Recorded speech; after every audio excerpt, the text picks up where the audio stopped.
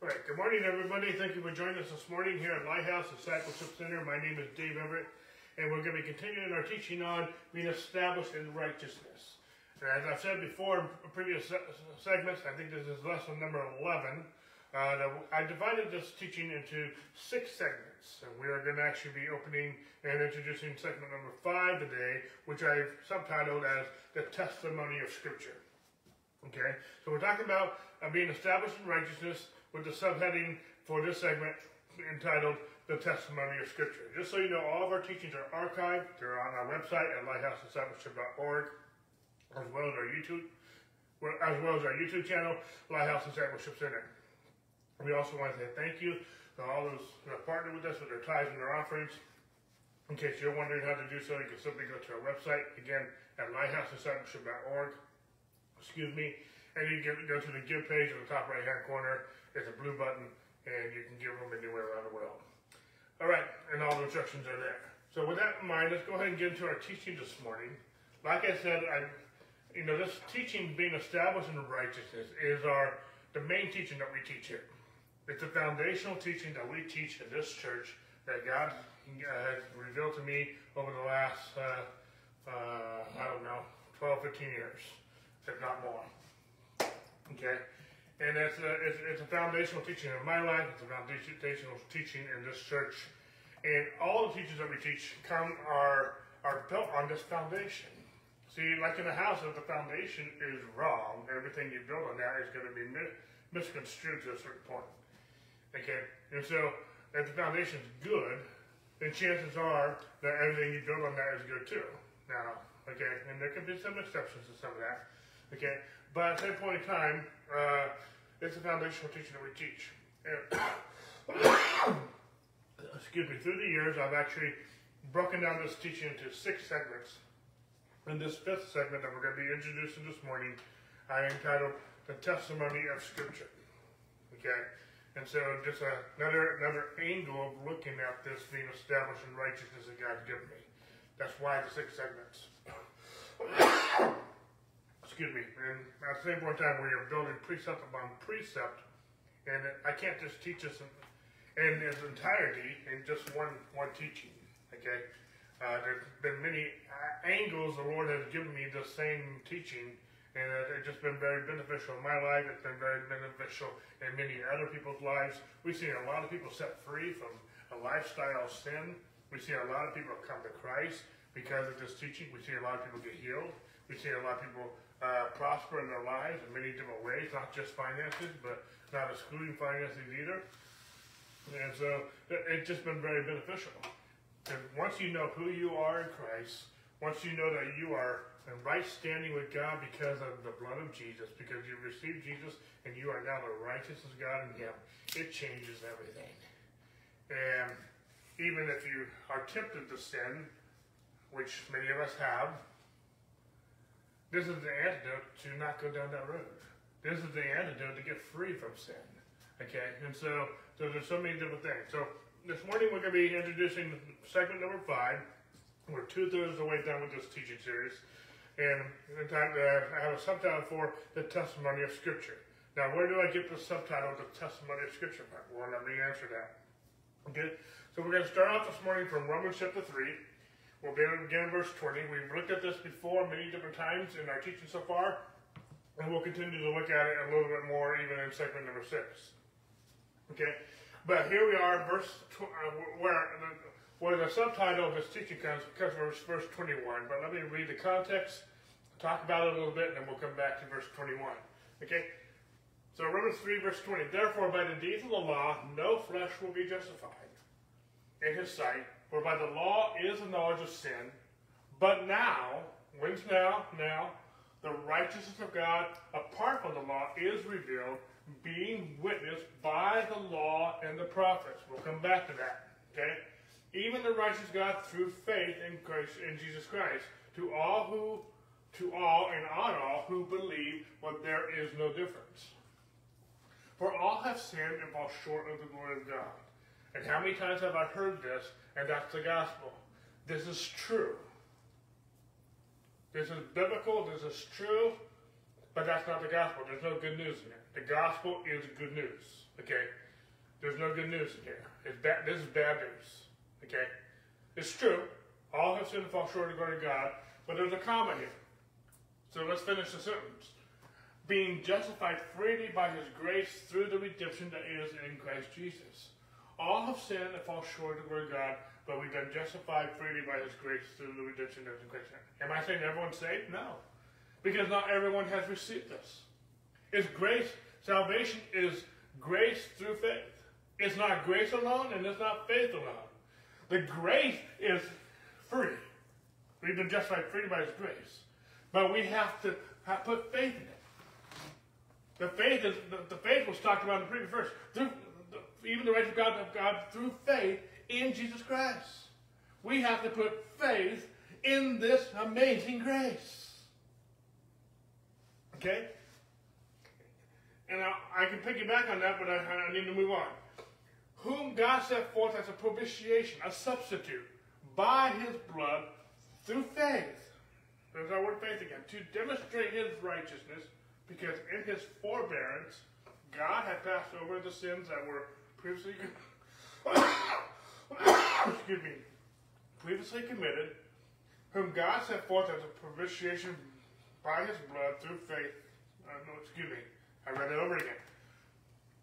Because in his forbearance, excuse me,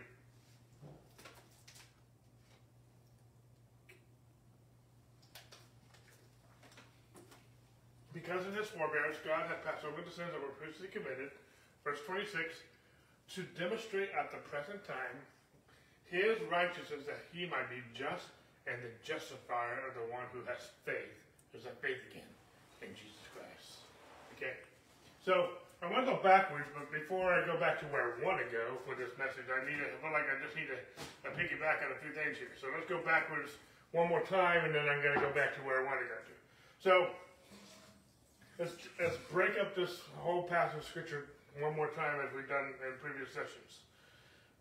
By the deeds of the law, no flesh can be justified.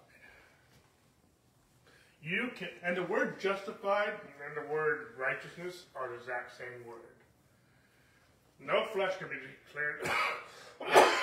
I can also say this, and it will be biblically correct by the definition of the word.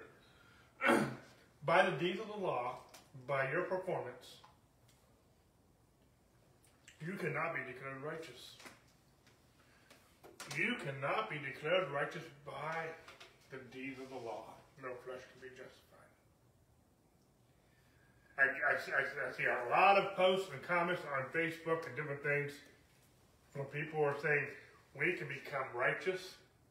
We need to become righteous so that we can be just justified. That, in other words, they're saying that we need to live holy righteously, be separated from the world so that we can be saved. You can't do that without Jesus. You can't be justified by the law. Okay?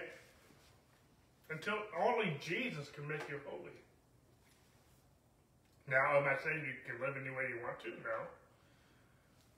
You can't, but I'm, I'm see, I'm all for righteousness, living rightly. I'm all for godliness. I'm all for holiness. I'm all for repentance. Where I argue with many religious people is how that happens. You walk in the Spirit so you don't fulfill the lust of the flesh. It's not the other way around. You awake to righteousness and sin not. The law is, I'm getting ahead of my notes here. The law is good. The law is holy. And the thing that made the law holy is the blood of Jesus. But the law can't make you holy. The law can't make you good. It's called the ministry of death. It's called the ministry of condemnation. It cannot make you holy.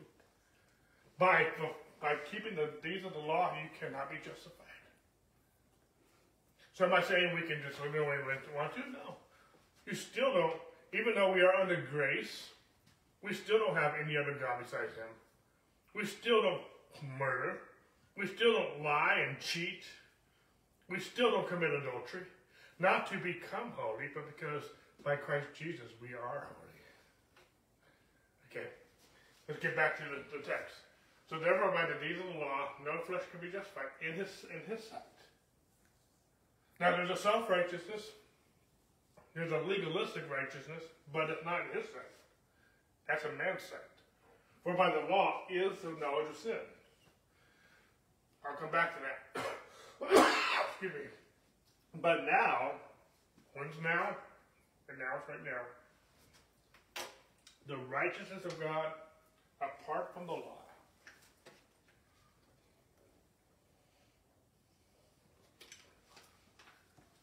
Excuse me. So the righteousness, but now, right now, in this covenant, in this generation, right now, in this era, the righteousness of God apart from the law is revealed. Being witnessed by the law and the prophets. We'll come back to that. That's a part of that's a whole segue to this teaching in this segment. Okay. Even the righteous God through faith in Jesus Christ to all to, to all and on all who believe for there's no difference. I already talked about that. For all have sinned and fall short of the glory of God, being justified freely by his grace the redemption that's in Christ Jesus. I've already talked about that. Verse 25. Excuse me, whom God set forth as a propitiation by his blood. God sent Jesus to be the substitute, to be the Lamb of God who takes away the sin of the world by his blood through faith. His, did his blood take away our sins? Yes. But we have to put faith in his blood, what his blood did. We have to put faith in his grace to demonstrate God sent forth, we're talking about what God did, not talking about what we did. God set forth as a provision by his blood. God set forth as a provision by his blood through faith to demonstrate his. He's talking about whom? Who's he talking about? He's talking about uh, Jesus Christ, whom God set forth as a provision by his blood through faith to demonstrate. God demonstrated his righteousness because in his forbearance God had passed over the sins that were previously committed. What does that mean? I can't fully explain it right now. Okay? But we are in a new covenant. The new covenant didn't start with Matthew chapter 1, verse 1. The new covenant started with the cross. Hebrews chapter 7, 8, 9, and 10 talks about this new covenant under our new priesthood, under new laws, okay, under new, better, better promises, okay. But in his forbearance, God passed over the sins that were previously committed. Previously committed to what? His blood. Christ. The Old Testament. The Old Testament. Uh, BC, before Christ, was previously committed. God, by His grace, through His forbearance, passed over the sins that were previously committed. How I don't have time to go into all that. You need to read, really read Hebrews 7, 8, 9, and 10. Through the law, through the Levitical law of sacrifices, that were a shadow, a copy of the real deal, which is in heaven. Through the, through the lambs and bulls and goats, the blood, it was a. When the first Passover took place in the book of Exodus, that's where the Passover, Passover lamb came over. He passed over the sins through the blood of the lamb. That was all a typology. That was all a substitute for the real Lamb of God who takes away the sin of the world. In Hebrews chapter 7, 8, and 9, and 10, especially 8, 9, and 10, and the point I'm making right now, talks about how Jesus not only fulfilled the law, he annulled the previous commandment. We are no longer killing bulls and goats and, and, and literal lambs. We why? Because Jesus died once and for all as our propitiation to demonstrate his righteousness that is going backwards is being revealed now. Okay? But God has, in his forbearance, has passed over the sins that were previously committed to demonstrate at the present time his righteousness that he might be just and the justifier of those who have faith in Jesus.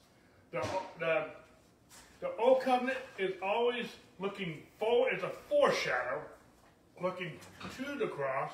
The New Testament is looking from the cross. Okay?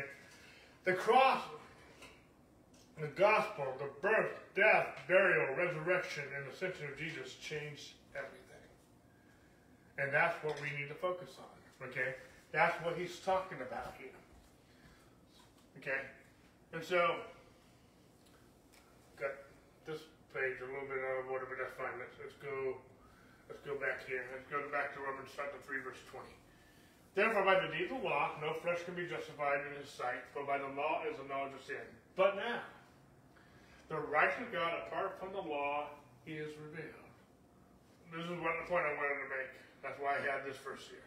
The law reveal, is the knowledge of sin. But the gospel reveals the righteousness of God. The gospel is the power of God unto salvation to everyone who believeth, there's faith.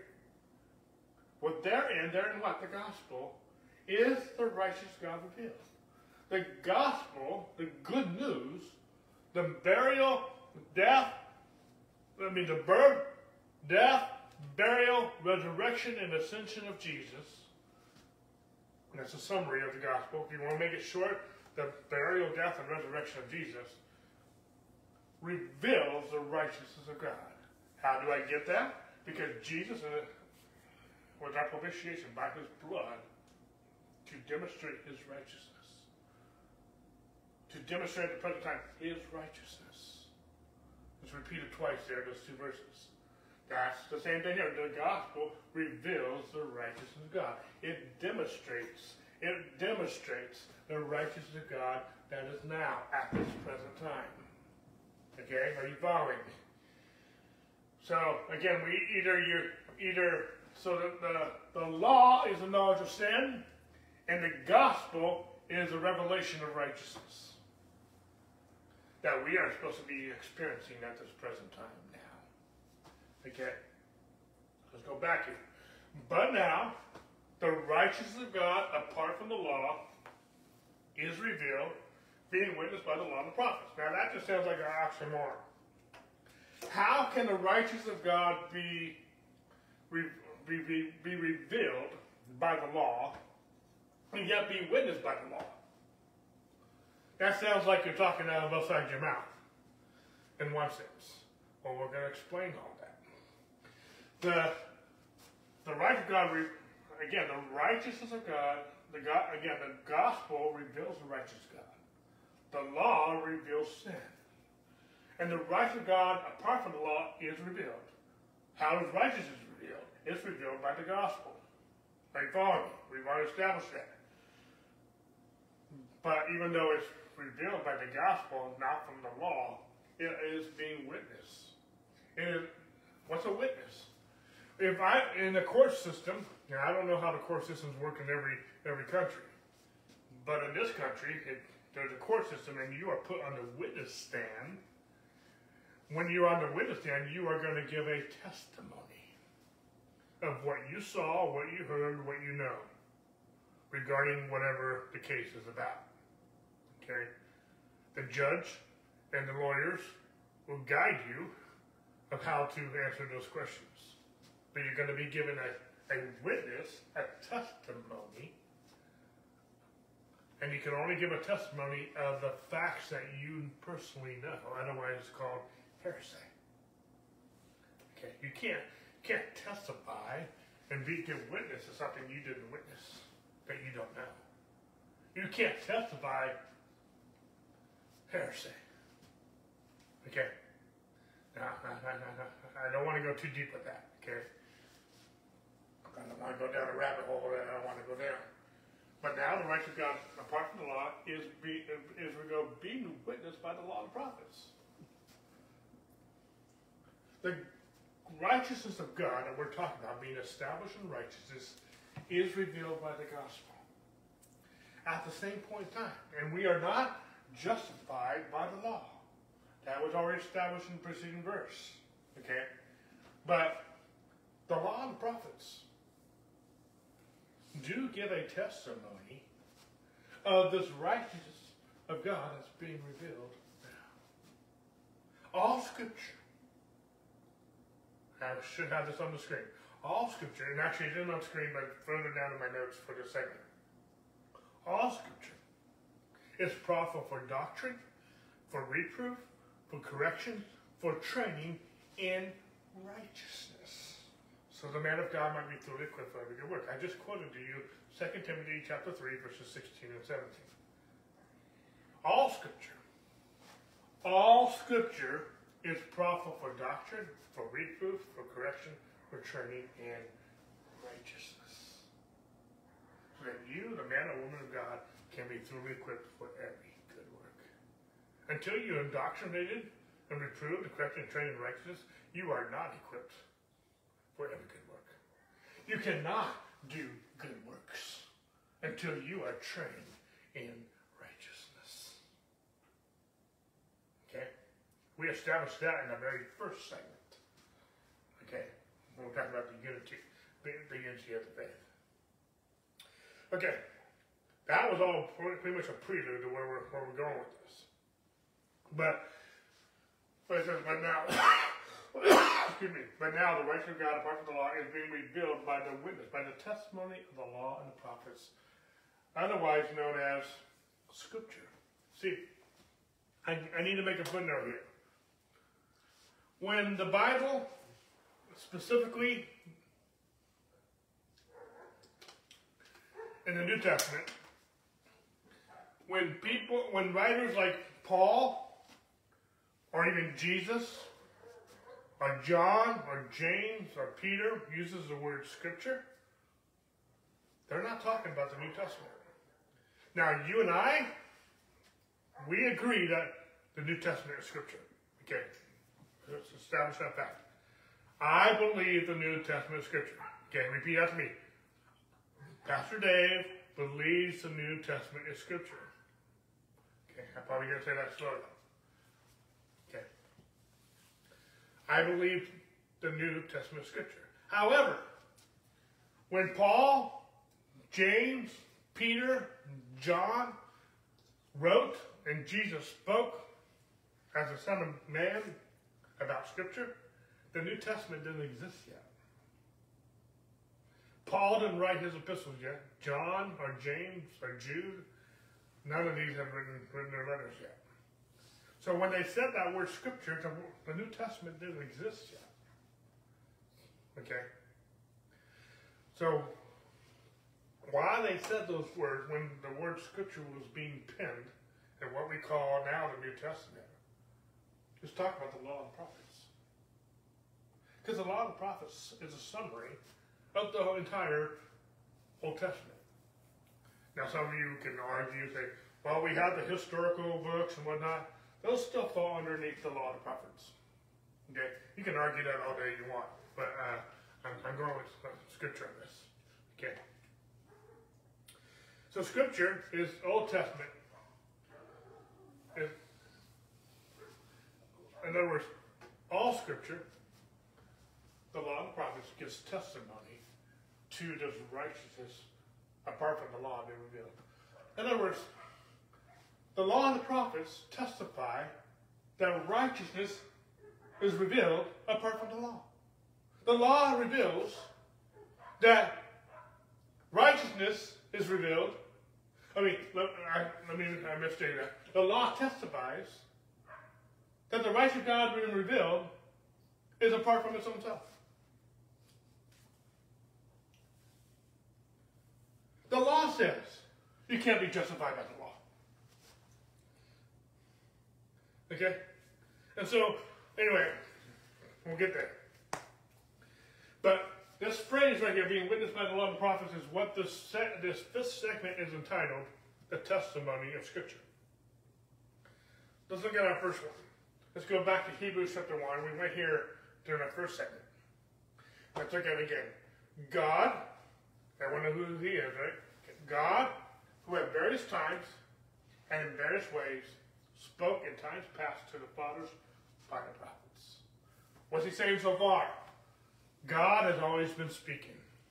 God has been has spoken at various times in various ways throughout history, throughout ancient history, to the, our forefathers by the prophets. But he has in these last days spoken to us by his Son. God and, and God has always been speaking. And in times past, he's been speaking to us, to our forefathers, what we know as the written Old Testament, the law and the prophets. He spoke to us by the prophets. But he has in these last days, and we've been in the last days since Jesus rose from the dead and ascended to the, right hand of majesty on high. He's spoken to us by his Son. God used to speak to us by the prophets. And I'm not saying there's not New Testament prophets. But God is now speaking to us by his Son. Whom? Who's whom? Son. whom God, he has appointed heir of all things, to whom also he made the worlds. Okay, so right now he's elaborating, we're in verse 2, of who this Jesus is. This Jesus created the worlds. He's the heir of all things, he's created the worlds, who being the brightness of his glory and the express image of his person. So in other words, the Son is the express image of the Father, God. Okay? You've seen the, you've seen the Son, you've seen the Father.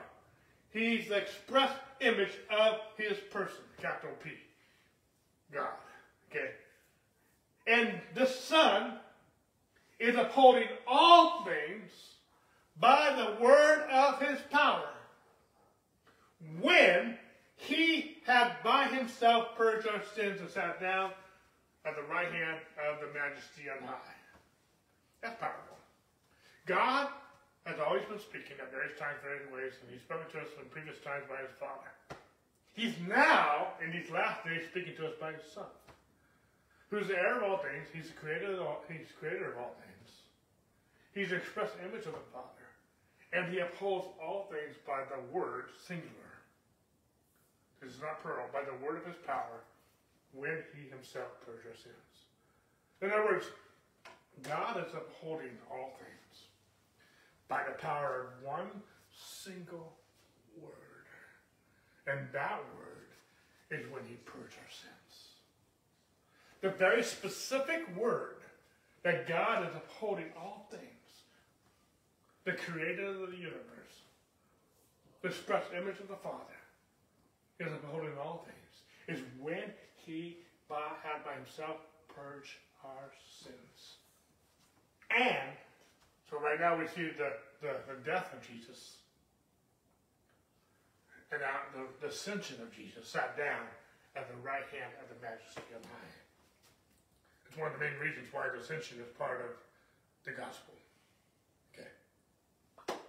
Many of you know what I mean by saying that. Okay. Um, I just lost a thought. So, in other words, if Jesus didn't purge our sins, I used to teach that we would just all turn to, turn to goo. Because he's upholding all things by the word of his power when he purged our sins. And if he didn't purge our sins, every, everything that he created would just turn to goo. That's how I used to teach it. My wife corrected me. Says we wouldn't turn to goo, we would just vanish. We just would not exist anymore. It'd be like the Lord of the Rings when Bilbo put on that ring. Poof, gone. We wouldn't just be invisible, we would not exist anymore. Poof, gone. Okay? And so, there's a very specific word that God has spoken very times. He's now speaking to us by his Son, and that is that he purged our sins. It was witnessed. He's spoken to many, many times throughout history to the prophets. But he's now speaking this specific word to us by his Son when he himself purged our sins.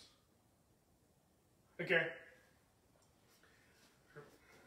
That, that, that, that when is powerful. Because that's the word of his power that he's talking about, that he's always been speaking. He's now speaking to us in these last days by his son. And his son is not in the grave. His son is on the right hand of his majesty on high. Okay. Let's move forward. These two, this verse was more of a prelude again to where I'm going. Let's go to 2 Corinthians chapter 3.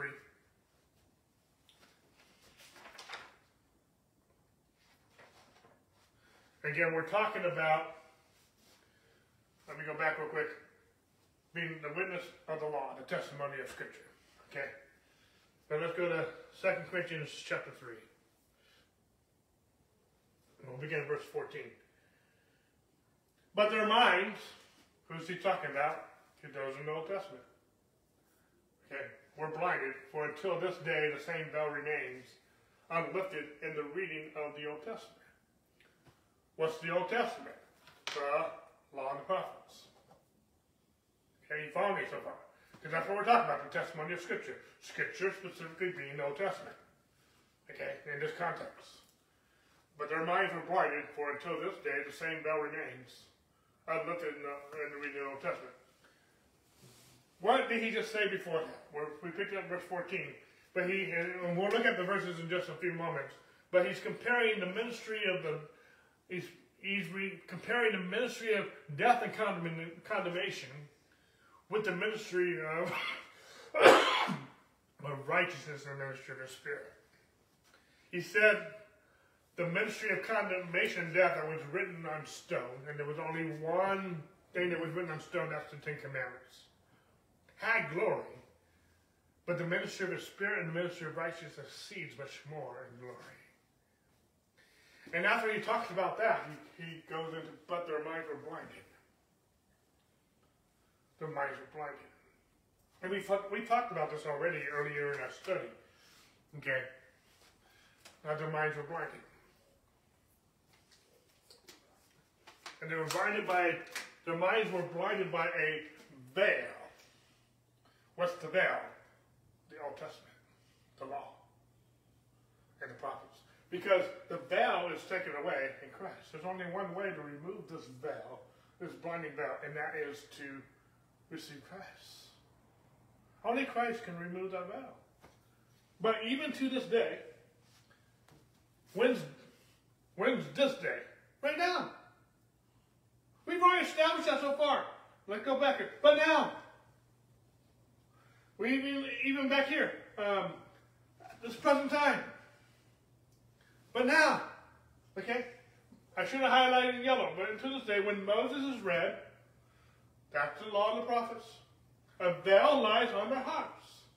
Verse 16. Nevertheless, when one turns to the Lord, the veil is taken away. There's only, you know, you can dice this any way you want to, but the Old Testament, according to the Word of God, according to the New Testament, is a veil. That will blind your hearts.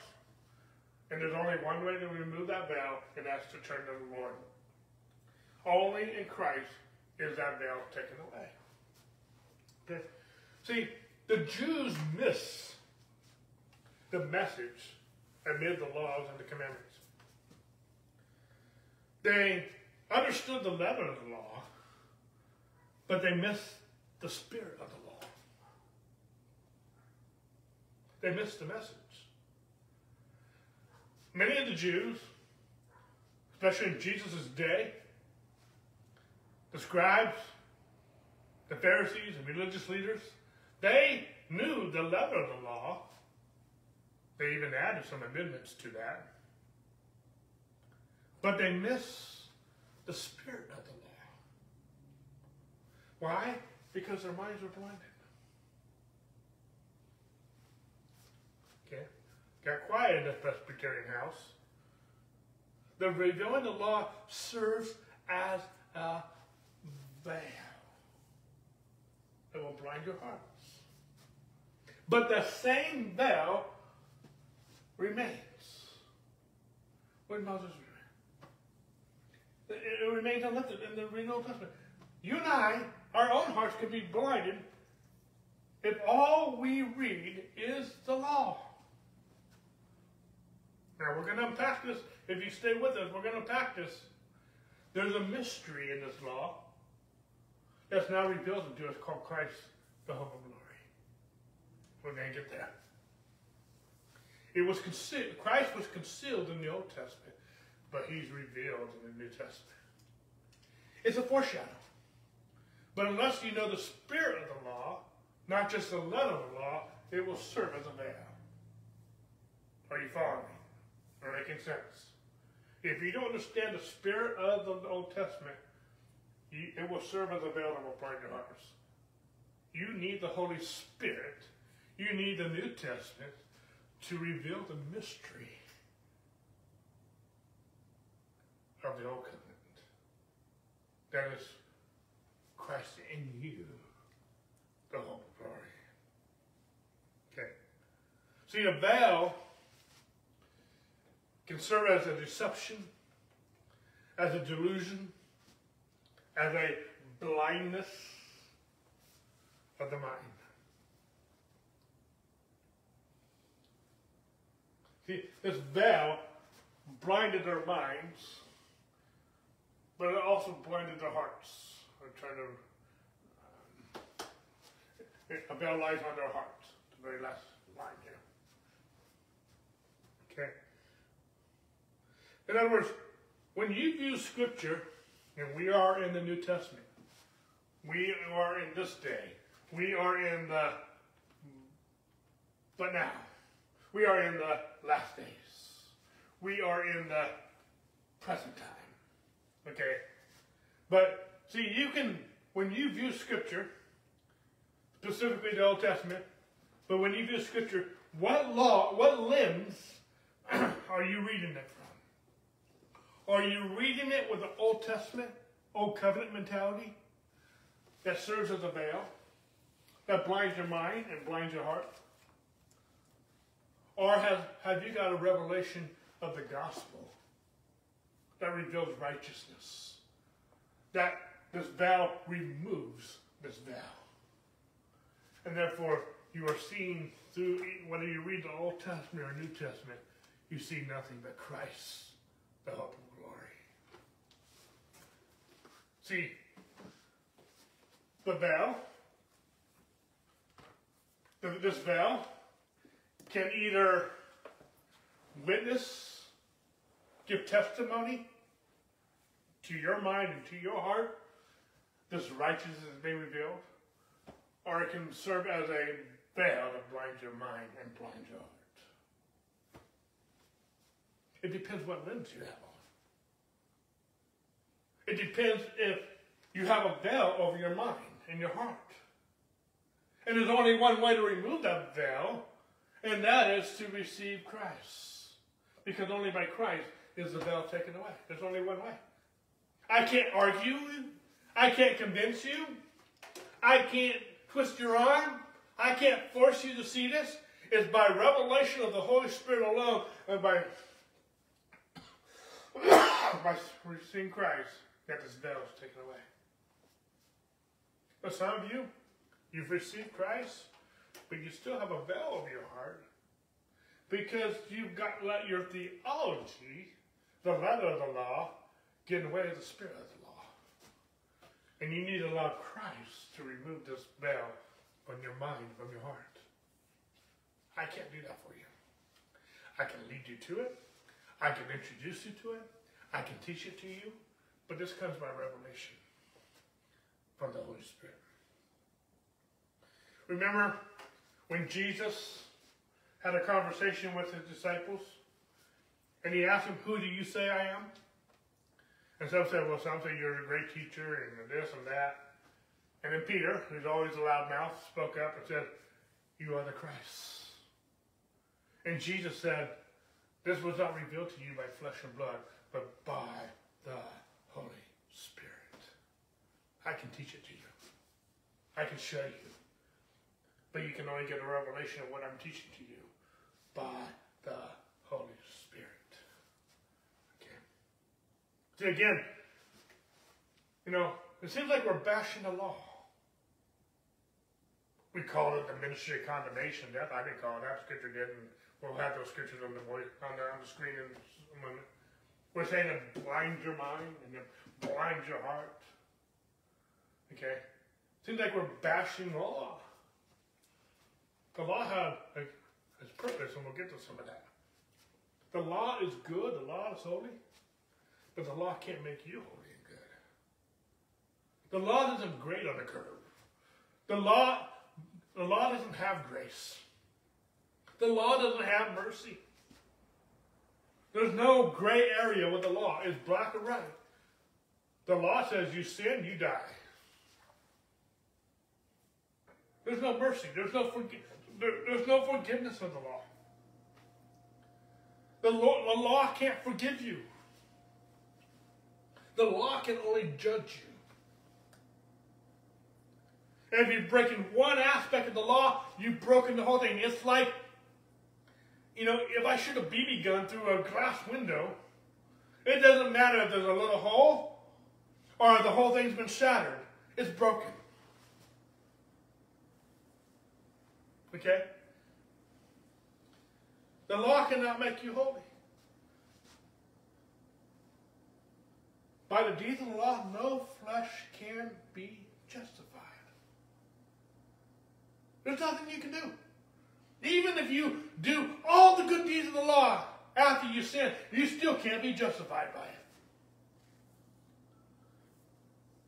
The law is a ministry of condemnation, it's a ministry of death. We'll get to that scripture in a few moments. It's a, you who have become estranged from Christ, you who attempt to be justified by the law. By attempting to be justified by the law, you become estranged from Christ. You fall from his grace. The King James said, you have Christ becomes no effect unto you. Whosoever are justified, who attempt to be justified by the law. You've fallen from grace. Is the law then against the promises of God? Certainly not. Three times, three times, Paul has addressed that thought. But the thing I like about that is that when you and I teach the gospel, if this question doesn't come up, then we're not preaching the gospel the way Paul did. Because three times Paul had to address such a question. And if I preach the gospel in such a way, this question should come up. The answer is always certainly not. God forbid. No. But the question should come up. If that question does not come up when you preach the gospel, then you did not preach the gospel the way Paul did. Because that question kept coming up over and over. Uh, is the law against the promises of God? Certainly not. For if there had been a law given which you could have been given life through truly righteous Truly righteousness would have come by the law. If you could be made righteous by keeping the law, then the law would have given you that opportunity. But you, it couldn't happen. It couldn't happen. But the scripture, and we're talking about the testimony of scripture, but the scripture has combined all under sin. All have sinned and fall short of glory of God. The scripture, the law, has confined all under sin. That the promise by faith in Jesus Christ might be given to those who believe. That's awesome. We think, our religious minds think this is a bad thing. Jesus, God set it up this way as a good thing. If the is the law against the promise of God? No. For if there had been a law given which could have given life, forgiveness, mercy, or even life itself, truly righteousness would have been given by the law. But the scripture has combined all under sin. There's nobody, we all deserve hell. We all deserve the penalty of sin, which is death. We've all failed. All of us. And by the deeds of the law, you can't be justified. You can't be saved. The law, the law doesn't give you a way to be righteous. The law is not against the promise of God. The law, the scripture, has combined all sin. We're not against the law, but the law says you are a sinner, you die. If all we have is the law, we have no hope. If we have all we have is the law, we are all looking toward hell. There is no salvation. There is no hope. The law is holy, is good, but it cannot save you. It can only tell you you messed up. You're a sinner, and you must pay for that. But scripture, the same scripture, this same scripture has confined all under sin. That the promise by faith in Jesus might be given to those who believe. Why is that so? Because God, the God of mercy, made it so. It's called grace. It's called mercy. You cannot earn grace. You cannot earn mercy. Otherwise, it's not grace and it's not mercy. His mercies endure forever. Many of us, we've been enamored with the law, but we have not been introduced to the mercy of God. When, when Moses, in the book of Exodus, I think it's chapter 34, when he asked, I want to see your glory. And he had Moses in the cleft of the rock, and God passed before him. It said all of his goodness, all of his grace, all of his mercy passed before him. The true nature of God is mercy and goodness and grace and forgiveness and long suffering. God did this. The scripture has combined all understand that the promises of God, the promise by faith in Jesus, might be given to those who believe. That's awesome. The law is holy. The law is good. But even the law, even this three-letter word called the law, was made holy by the blood. The only thing that can make anything holy is the blood. Even the law itself. What made the law holy? The blood. What makes anyone holy? The blood. The blood of Jesus. The blood of the Lamb of God. Hebrews chapter 9. For whether there is a testament or a covenant, there must also of necessity be the death of the testator. For a testament is not enforced after men are dead, since it has no power at all while the testator lives. See, a lot of us, we don't understand Christianity because we don't understand testament. We don't understand covenant.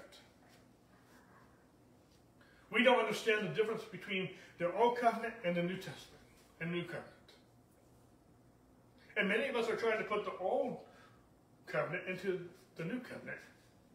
And the, Jesus said that's like putting the old old old um, old wine into new wineskins, or new wine into old wineskins. I had it backwards. Excuse me. And when you try to put new wine in old wineskins, the wineskins burst, and both are lost. You cannot mix the two covenants. Hebrews chapter 7 says that we're under a new priesthood with new laws. The priesthood of the Levitical priesthood was under Levi, the tribe of Levi. But the priesthood of Jesus, the new priest, is under the tribe of Judah. Two different tribes, two different priesthoods. After the order of um, now Melchizedek, a king priest. See, under the law, you couldn't be a king and a priest.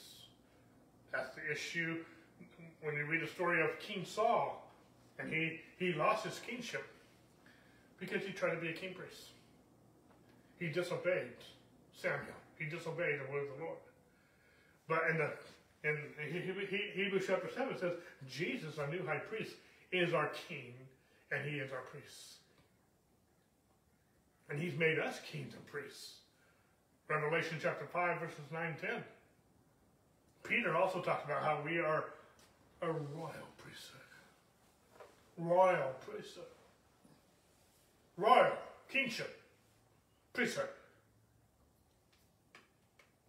Anyway, gotta move forward. But whether the see a covenant, and, and therefore a covenant, I like the word covenant, but in this case I like the word testament because a testament has a testator. What's a testator? If my father has a will, that will does not go into effect until he dies. That will still may be legal, but it has no power while he's still alive. Now, I don't want my father to die for the will to become effective. But that will has no effect while he's still alive. That's why when there's a death in the family and a family member has a will, there's a process, a legal process for that includes that they need a death certificate to prove that the testator died. For that will, that testament to become in force. And once the legal process has been verified, authenticated, that the testator died, that testament is now in force. Jesus is not just our birth certificate, he's not just our marriage certificate, he is also our death certificate. And because Jesus died, the New Testament is in full force. Reminds me of Star Wars with the Death Star. is fully activated. It looked like it was still a work in progress, but it was still fully activated. It was fully enforced. That the Testament, New Testament of Jesus Christ, the covenant of his blood, is in full force. that's not where I'm going with it. That's just a prelude. Verse 18. Therefore, not even the first covenant. What's the first covenant? The law, the law of the prophets, was dedicated without blood. What am I talking about? Why don't we go in here in Hebrews? We're talking about, I'm going to go back real quick. We're talking about the testimony of Scripture. Okay, that's what we're talking about. Ultimately, we're talking about being established in righteousness. But in this segment, we're talking about the testimony of Scripture. But he says, you, um, not even the old first covenant was dedicated without blood. We're also talking about, I made the point that the law is good and holy. But what made it holy? The blood. The first covenant was dedicated with blood. What made it holy? What made the first covenant holy? The blood. For when Moses has spoken every precept to all the people, excuse me, according to the law, that should have been highlighted green, he took the blood of cows and goats with water, scarlet wool, and hyssop, and sprinkled both the book itself and the people. The law is holy. What made it holy? The blood. And I, I get so many arguments on people with Facebook. They want to become holy by what they do, by keeping the law. And what made the law holy? The blood. There's so many comments and so many posts by so many well-meaning pastors, and I want to say that they're, they're well-meaning, but they bypass the most important ingredient, the blood of Jesus.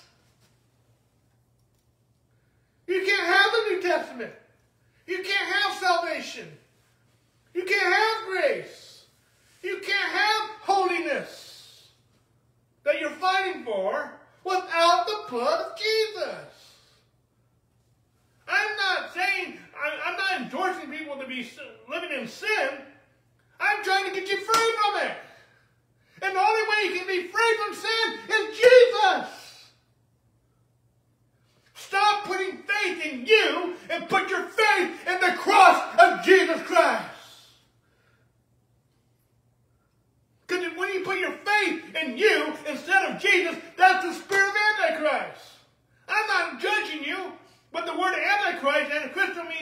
Means against or instead of Christ. And you are putting your faith in you instead of Christ. That's Antichrist. I'm not judging you. I'm just calling a spade what it is, a spade. If I've become your enemy, now that I, I speak the truth to you. And I speak it in love, not judgment. There's no malice, there's no spite. I'm trying to help you, not hurt you. But the only thing that's going to make you holy is the blood of Jesus. So you say we can live any way we want to? Where did that come from? No! I'm trying to make you holy so you can live holy. You can't live holy with, on your own initiative. Temperance is a fruit of the Spirit, it's not a fruit of the flesh. You can't become holy. You can't live holy without Jesus living in you. I'm crucified with Christ. It's no longer I who live, but it's Christ who loved me. In the life I, I live, I live by the faith of God who loved me and gave himself for me. That's the blood. Amen. Amen. So the first covenant was dedicated with the blood. Saying this, the blood of the covenant which God commanded you. Paul echoes this in Corinthians when he talks about communion. He calls it the blood of the covenant. Excuse me. King James says, I love this. I'm reading from the New King James in most of my scriptures. This is the blood of the covenant which God has commanded you. The, New King, the King James says, This is the blood of the, covenant, of the testament which God has enjoined unto you. I love that. Excuse me. Verse 21. Then likewise, so he, he, he, he sprinkled the book itself on the people. And then likewise, he sprinkled, he sprinkled with blood both the tabernacle and the vessels of the ministry. And according to the law, almost all things are purified with the blood. And without the shedding of blood, there is no remission. Therefore, it was necessary. I mean, sorry, I got to pause for a moment. I'm talking with one pastor recently. He says the only reason God made Jesus available is because some people can't couldn't afford the lamb. That is ludicrous. That is false doctrine to the highest core. Jesus is not a substitute for the old covenant. The old covenant was a substitute for Jesus until the true Lamb of God came. You got it backwards, big time. Therefore, it was necessary that the copies, the copies, the copies, the Old Testament is the copies of the things in the heavens should be pur- should be purified. See, all these Levitical things were copies, and they had to be purified by blood with these. But the heavenly things, the true things themselves, were better sacrifices than these. What's the better sacrifice? The blood of Jesus. Okay. Hopefully you're getting something out of this. Without the shed of blood, there is no remission. And all things are made holy only by the blood, even the book of the law. So, okay uh, we did on time. Okay, good. So time left. Let's go to Colossians.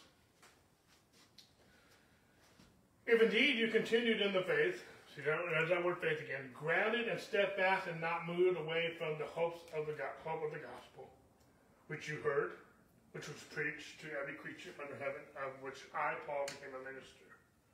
Verse 24. I now rejoice in my sufferings for you and fill up in my flesh what is lacking in the afflictions of Christ.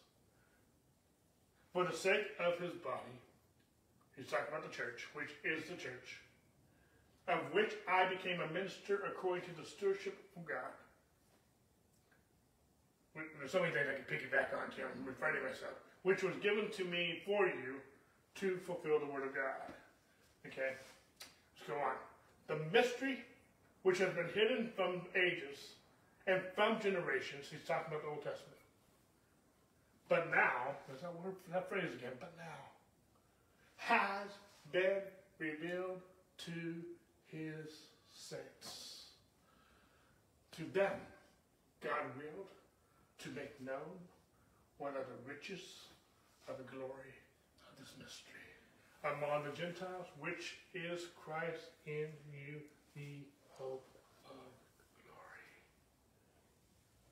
I should have had it on the screen again real quick here, but let's go back real quick. Apologize for going back, but we're talking about oh, way back here.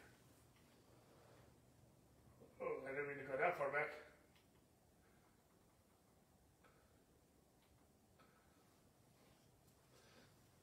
We're talking about, but now, the righteous God revealed apart from the law being witnessed by the law and the prophets. Okay, that's what we're talking about. Let's get back to where we were. Okay. It says, in the mystery which has been hidden from the ages, talking about the law, and for generations. The same, the same mystery that was spoken, let's go back to Hebrews chapter 1, verse 1. God who at various times and various ways spoken, but now spoken just last days by his son. Okay. I should have coordinated these slides a little better. Apologize for that. This the mystery, which has been hidden from all ages, from, from ages, not all ages because it's not hidden now, and from generations, but now has been revealed. To them, God will to make known to who? To who? Them, us. God has will to make known what are the riches of the glory of this mystery among the Gentiles, which is Christ in you, the hope of glory. Him we preach. Christ we preach. Warning every man and teaching every man in all wisdom, that we may present every man perfect in Christ. To this end I am also a laborer striving according to his working which works in me. This, the, the God, the mystery was hidden in the Old Testament. It's revealed to his saints in the New Testament. And this mystery, what is the mystery? Christ in you, the hope of glory. And someone else on Facebook this week wanted to argue about Christ in you. Saying that's not that's not a true statement. That's the mystery. That's the gospel. Anyway, I can't go down that rabbit trail that we may present every man perfect in Christ Jesus. What's this? Being justified, being declared righteous because of the blood of Jesus that he demonstrated in the cross. I hate going back again, but going back to what we already talked about,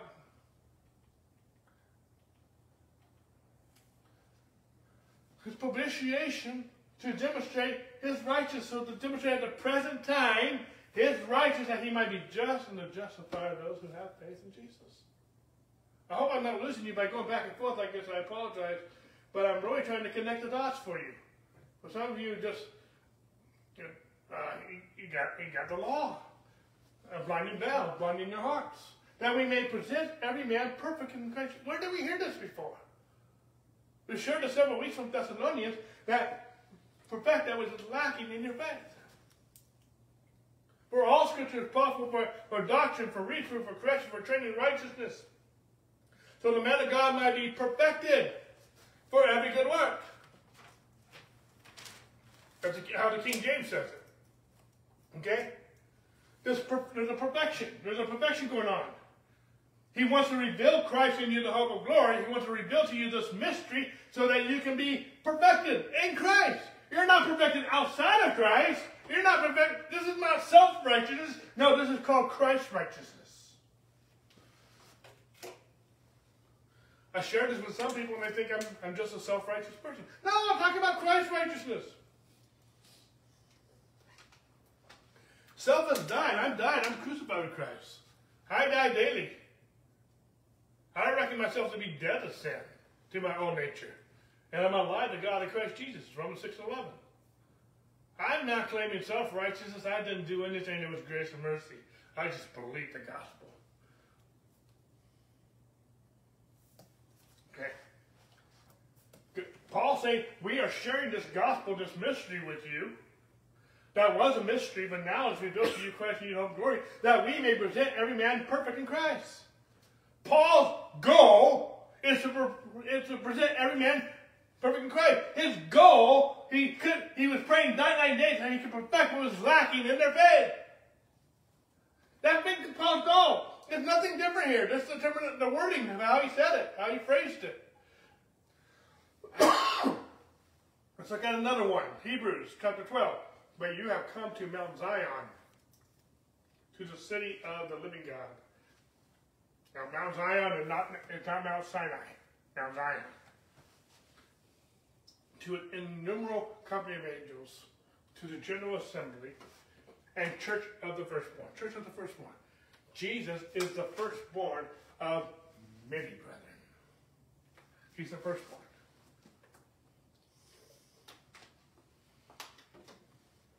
Anyway, are registered in heaven. To God, the judge of all, to the spirits of just men. There's that phrase again, made perfect. What perfect? The same perfect he talked about. That we may present every man perfect in Christ Jesus. That I might perfect that which is lacking in faith. And I give you many more examples. To Jesus Christ, the mediator of the what? New covenant. And this new covenant speaks better things, the blood of sprinkling that speaks better things than that of Abel. We know the story of Abel and Cain, how his blood spoke out for vengeance. Well, the blood of Jesus speaks better things. What, why am I going these verses? Because I'm answering the question, what made the law holy? The blood of Jesus. Let's look at one more. Romans 16. Now to him, talk about Jesus, who is able to establish you according to the gospel and the preaching of Jesus Christ. God and God alone. Is, eh, we're talking about being established in righteousness, folks. Specifically, we're narrowing it in on the testimony of Scripture. But we're talking about being established. He is able to establish you according to the gospel. Why does Paul call it my gospel? It's the gospel of Christ. But I don't know about you, but I've adopted it too. It was preached to me. It is preached to you. You can all adopt this because my gospel is his gospel. Okay? Don't get messed up on the pronoun. Okay? And the preaching of Jesus Christ. According to the revelation of the mystery. What's the mystery? Christ in you, the hope of glory. Kept secret since the world began. It was kept secret in the Old Testament. It was concealed. But it's revealed to you. Verse 26. But now, okay, we, we, we got to the boat now too, too quick. God, God is the only one who's able to establish you according to the gospel and the preaching of Jesus Christ, according to the revelation of the mystery, this Old Testament. We're talking about the testimony of Scripture that was kept secret since the world began. The testimony of Scripture being testified, being witnessed by the law and the prophets. But now, He has made manifest and by the prophetic scriptures, testimony scriptures, made known to all nations, according to the commandment of the everlasting God, for obedience to the faith. There's so much here. I'm really just piggybacking on the same point over and over again, many different angles, many different ways of saying the same thing. And I can pray that only by the Holy Spirit you get a revelation of what I'm trying to teach to you. Let me try to finish this point and then, uh, and then we'll pick up next week. See, I say many times in this church, we are not religious. We are, we have a relationship with God. I hate religion. I hate the word religion. I hate anyone calling me religious. And anytime anyone, I don't care who you are, calls me religious, I will correct you. Um, that that is that's almost like you call me an Ishmael instead of an Isaac. It just, um, you call me the older brother instead of the prodigal. I'm the prodigal who came home. I'm not the old brother who not only rejected the, not only rejected his brother, but he rejected the father. He would not even fellowship with the father. Okay. But even though I'm against religion, and specifically Christian religion, Christian religion who's trying to be justified by the law. And when you're trying to be justified by the law, look at Galatians 5 4, we become yes, we become estranged Christ. We make Christ of no effect. Trying to be justified by the law, that's why I call being religious. We fall from grace. Okay? That's what I'm talking against.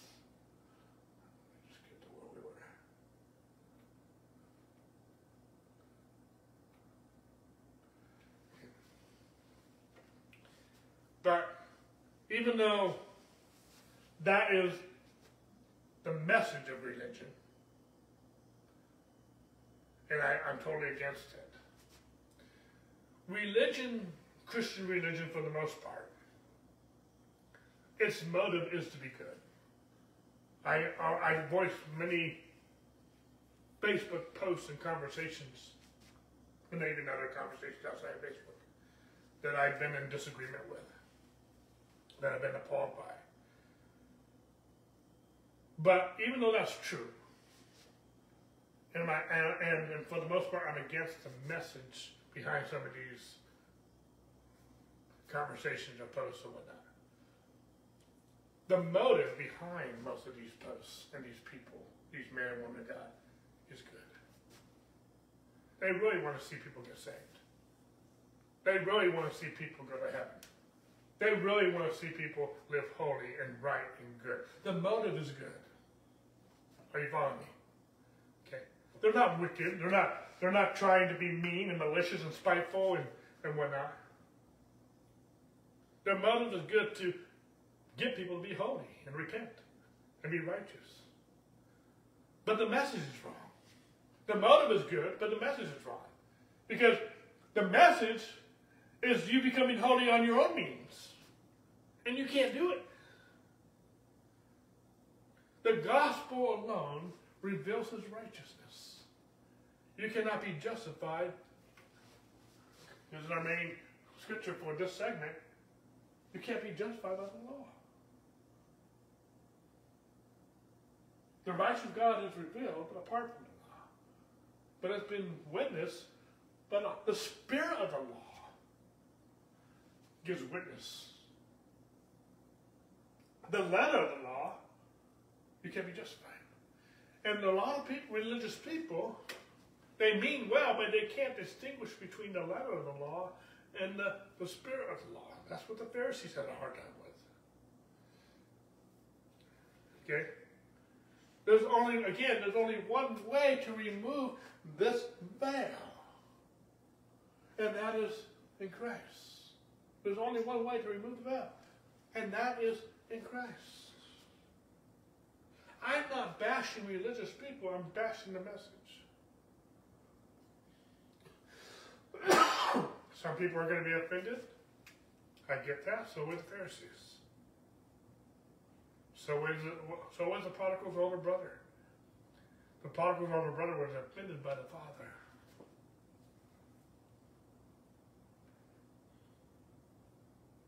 But there's only one way to remove the veil. I can't argue it. I can't teach it. I can lead you to it. But you have to turn to the Lord. You have to turn to Christ. And so I will preach Christ. I will preach the good news, the gospel that reveals the righteousness of God. I can't get I can't get you there because I debate with you. I can only get you there by preaching Christ to you and you turn to the Lord. See, true humility is trusting and relying on the cross. True, true humility is trusting God and God alone. True humility is trusting and relying on the blood of Jesus and the blood of Jesus alone. Pride is trusting yourself. Pride is relying on your own performance. Go back here. my own deeds. Trying to be justified by the law and making Christ of no effect to you.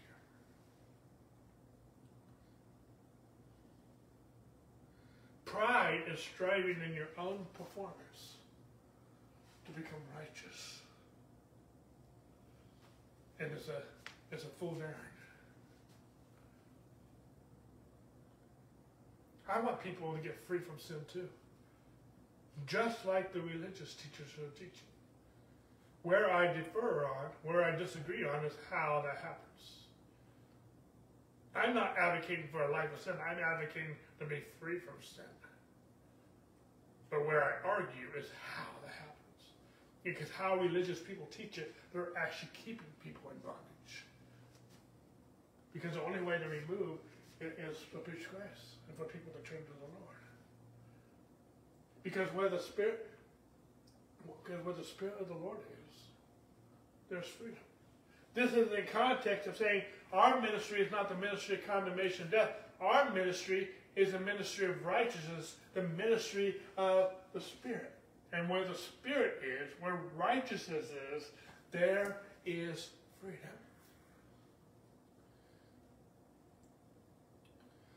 So I'm preaching true humility, trusting God and God alone, the blood of Jesus and blood of Jesus alone. I'm teaching true freedom that can only be found in the Spirit of God. And I'm teaching true transformation because we all, with our unveiled face, how do you remove the veil? Turn to the Lord. Without the veils, we are beholding, and that's our last segment We'll be titled Behold, as in a mirror the glory of the Lord, are being transformed into the same image. What image? The image of righteousness, the image of the Spirit. From glory, from the glory of the new covenant to the glory of the old testament. Just at, from the glory of the old testament to the glory of the new testament, excuse me, just as by the Spirit of the Lord, just as by the righteousness of God. You got to keep this in context. He just talked about the the ministry of the Spirit with the ministry of righteousness. He just compared that. He compared the ministry of the law with the he talked about he compared the glory of the law with the glory of the ministry of righteousness, the glory of the ministry of the Spirit. Well, I'll show you in just a second. But until we our face is unveiled and we are beholding as in a mirror, what's a mirror? A mirror, a mirror is not a window. A mirror is a reflective device. When I look in the mirror, I see myself. But when I behold as in the mirror, the Bible says in James that the Word of God is like a mirror. So it, our, when we are in Christ, we are born again. So what does our my born again nature look like? I can't see it in the physical. I can't see physically my born again nature. I can only see my born again nature in the Word of God. And when we behold, see with the mind, when we gaze, focus, behold, as in the mirror, the glory of the Lord. God asked me this several years ago. When I look, when I look in the mirror, who do I see? I said, when I look in the mirror, I don't know about you, but I see me. I don't see nobody else unless they're behind me and we're doing a selfie together. We, uh, I see myself. And I knew I answered, answered the question wrong when God asked me the question again. When we look in the mirror, we see, should see the glory of the Lord. Why? Because he made us righteous by his blood. I'm not righteous because of what I've done. I'm righteous because of what he's done, and I believed it and I received it. Some people say it can't be that simple, Pastor Dave. It is. Remember our last segment when Paul said, I fear with godly jealousy that you will hear another gospel. And that would take you from the simplicity that's in Christ. I'm paraphrasing. I think it's 2 Corinthians chapter 11, verses 2, 3, and 4. But we are, when we, when we look in the mirror, when we behold in the mirror the glory of the Lord, we are transformed like a butterfly, from a caterpillar to a butterfly, or a tadpole to a frog. We're transformed into the same image. What image? The image that we're beholding in the mirror. When we, when we look in the Word of God in the mirror and we behold His glory, not our glory, excuse me, we are transformed into that same image. from glory to glory, from the glory of the old covenant to the glory of the new covenant, just as by the Spirit of the Lord. what I mean by the Spirit of the Lord, he just talked about the, the ministry of the Spirit, the ministry of righteousness, had much more glory than the glory of the old covenant. And we are transformed from glory to glory by the ministry of righteousness, by the ministry of the Spirit.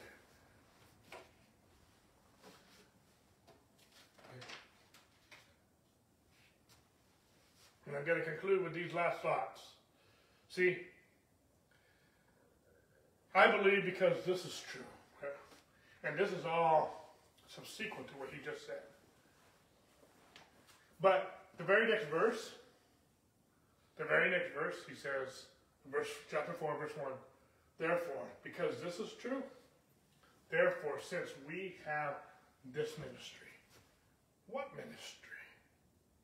What does this have to do with ministry? Are you follow me? he says this, and in the very next verse, therefore. Therefore is always prerequisite. Therefore, I'm sorry, is always subsequent to what therefore.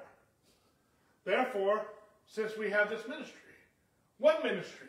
The ministry he just talked about in verses 7 and 8, I've been talking about all along. He compared the ministry of death and condemnation with the ministry of the Spirit and the ministry of righteousness. This ministry of the Spirit is what he was talking about here. Is what he was talking about here. Okay? And it's what he was talking about here. Because our ministry is not the ministry of death and condemnation, the law. And in case you're mess, in case you're confused on that, the ministry of death written and engraved on stones. There's only one ministry that did that. That's the Ten Commandments. Okay. And in case you're, you're confused, more confused, he said Moses. Okay. He says that this ministry had glory. But the ministry of the Spirit is more glorious. The ministry of condemnation had glory, but the ministry of righteousness exceeds much more in glory. And that's what he's talking about here when he says from glory to glory. Okay? And so this ministry, what ministry? We are under the ministry of the Spirit and the ministry of righteousness. Also, this is chapter 3, but verse 5, chapter 5 is called the ministry of reconciliation. These three things, the ministry of reconciliation and ministry of righteousness and the ministry of spirit, is our ministry. Okay? What is not our ministry is the ministry of death and the ministry of condemnation, which is the law. Okay? But our ministry is the ministry of these three, three things we said. Therefore, even if the gospel is bound, What's the bound? The law. It is bound to those who are perishing, whose minds the God of this age has blinded. You mean God's blinded the mind? No, Lord G, Satan, the God of this age, has blinded. Who do not what? There's that faith again, believe. Lest the light of the gospel of the glory of Christ. Who is the name of God? The gospel is a who. The gospel is a who and should shine on them. See, unless we preach the gospel that reveals the righteousness of God, people are perishing. Okay? And the enemy is blinding their minds from hearing the gospel. He's bright. It's bound. He's trying to bound their minds. Okay? end with this last scripture, Colossians 2.11. In him you were also circumcised, with the circumcision made without hands, by putting off the body of the sins of the flesh, by the circumcision of Christ, buried with him in baptism, in which you also were raised with him through faith, in the working of God who raised him from the dead. And you being dead in your trespasses and the uncircumcision of your flesh, he has made alive together with him, having forgiven you all trespasses, having wiped out the handwritten writing requirements that was against us, which was contrary to us, And he has taken out of the way, having nailed it to the cross. And having disarmed principalities and powers, he made a public spectacle of them, triumphing over them in it. So let no one judge you in food or drink or regarding festivals or a new moon or Sabbath. What's all this? Law. Don't judge. Don't let anyone judge you according to law. Why? He nailed it to the cross. He made you alive together. Having forgiven you all trespasses. All trespasses, past, present, and future.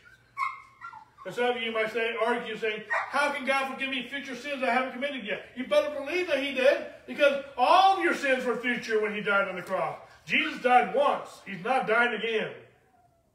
Okay? Having wiped out the handwriting and requirements that was against us, He has taken it out of the way by nailing it to the cross. This ministry, the ministry of condemnation and death, was against us. It was contrary to us. And he took it out of the way by nailing it. He fulfilled it. He nailed it to the cross. And we are now alive together with him, having been forgiven. We are truly righteous. These handwriting requirements that were the testimony of scriptures, they were also against us. Why? Because eh, I think I have it here because they're the knowledge of sin. We can't be justified by them.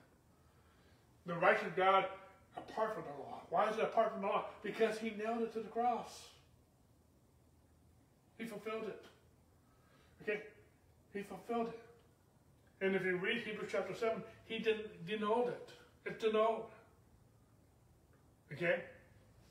And so, I didn't say that. He, the writer of Hebrews said that.